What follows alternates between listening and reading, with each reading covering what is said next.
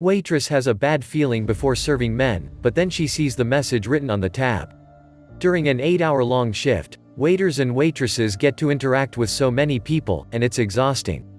But what this waitress didn't expect was to watch those three men enter the restaurant and get a table. The awkward thing was that they were wearing red, Make America Great Again, hats. In addition, the restaurant was known for promoting political activism. As the three men entered the restaurant, the people around them went silent. All eyes were on them, so what did the waitress do? When it comes to politics, even the most calm people can get into heated disputes. Opinions are different, so imagine how things were going right after President Donald Trump's inauguration started. It was obvious that the weekend after Donald Trump became the new president of the United States, people would get all riled up. Some were excited, others on the contrary, and of course, there were some mixed feelings about the new leadership. People were celebrating the inauguration of the 45th President of the United States of America. So were the three men that wore their MAGA hats the next day as they entered the restaurant. Nobody knew that day would forever change the way we perceive people. Jason White was in Washington, D.C. and celebrating the event with two friends. Before going to the airport, they decided to grab something to eat for breakfast. What he didn't realize was that he was still wearing that hat and people were looking at them.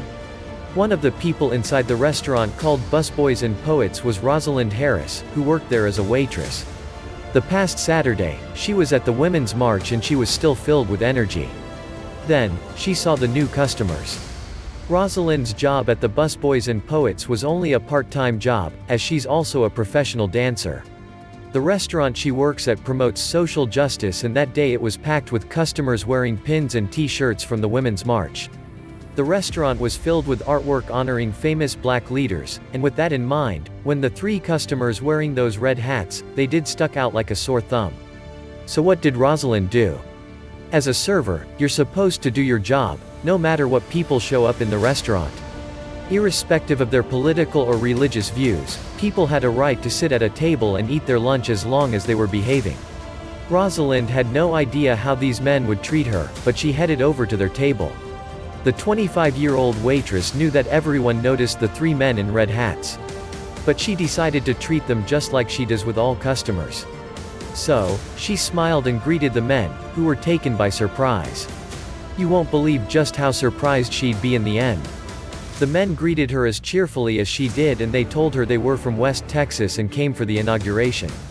Rosalind knew they were Trump supporters, but however different their political views were, she would treat them with respect. As the waitress approached them with such a big smile, Jason White was caught off guard. He recalls in a later interview with the reporters, after this story blew up, that they talked about the food and Rosalind was a breath of fresh air. She started laughing when we said we were from West Texas and she said, I can tell you're from the South, White recalled. Rosalind herself was impressed that the men were treating her with the same cheerfulness. Then, White asks her this. I said, what's your favorite thing on the menu? She said the avocado panini is delicious, and I love avocado, so I got that, said White. But let's look at the story from his point of view, from the second he and his friends entered the restaurant. Jason White is a 37-year-old dentist from Lubbock, Texas. As he entered the restaurant, he realized that everyone was looking at them. He told his friend, you need to take your hat off. But it was too late now, although they did tuck away the hats. We started getting looks, White recalled in the interview. I don't want people to think we're coming in here to flaunt our Trump stuff, explained White to his friend. We're just coming here to have lunch, he said under his breath so that he won't draw too much attention. Then, the young waitress approached. Thinking they'd not be treated kindly, White braced himself, but as she approached, the waitress smiled at them and she was so casual that the three men could finally relax. It was a relief for both of us. This was just lunch, said White. But here's what made this story go viral worldwide. The dentist recalled his morning at the restaurant with a smile and said that, we interacted like regular human beings, not white, not black, not Trump supporter, not black waitress. So, he decided on the spot to make Rosalind's day brighter. As Jason and his friends finished their breakfast, he saw the bill. They had to pay $72.60, but without letting his friends know about it, White decided to leave the kind waitress a message. Little did he know he'd give interview after interview for his good deed. After finishing their meal, and paying the bill, the three men left the restaurant. The waitress then returned to the table to clean it and picked up the note. Here's how Rosalind reacted when she read what Jason had written on it. On the bill, Jason wrote a message for the waitress. We may come from different cultures and may disagree on certain issues, but if everyone would share their smile and kindness like your beautiful smile, our country will come together as one people. But that was just part of the message. When Rosalind read the entire bill, she couldn't believe her eyes. It must have been a mistake. Jason continued, saying that together, as a whole, irrespective of the race or gender, not race. Not gender. Just American. God bless. Then, Rosalind's jaw was wide open as she saw that she received a 625% tip. White's symbolic gesture was as a nod to the 45th president, he said in an interview. His friends had no idea what he did. Witnessing both the inauguration and the Women's March, Jason was moved and saw what it meant to be an American. The story went viral after busboys and poets shared a photo of the receipt on Twitter, writing, We rise by lifting others. A lovely act of kindness. So what did Jason have to say about his kind deed going viral? I'm extremely humbled by all of this, said Jason.